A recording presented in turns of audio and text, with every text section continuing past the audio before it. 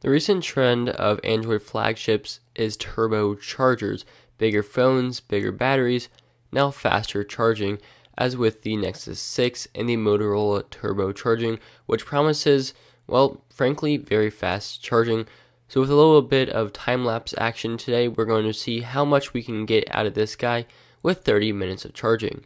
So my Nexus 6 is at 2% battery life as you can see and we'll go ahead and starting this test at 651. Uh, so we're going to go ahead and do this time lapse. I'll be back in 30 minutes.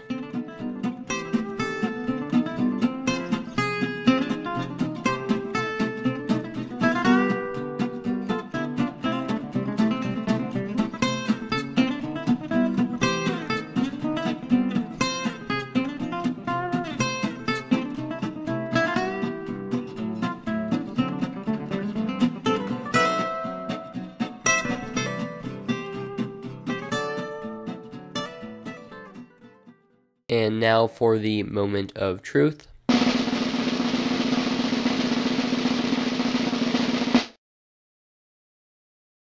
So that was probably a bit dramatic, but this is on par with what Motorola and Google are saying. About 30 minutes of charge to get 6 hours, which, if their claim is roughly 24 hours of usage, then this definitely gets over that 6 hours of usage. So after 30 minutes, you know, you're good to go for a few hours. So this is pretty impressive. This is the Nexus 6 with the Motorola turbocharger.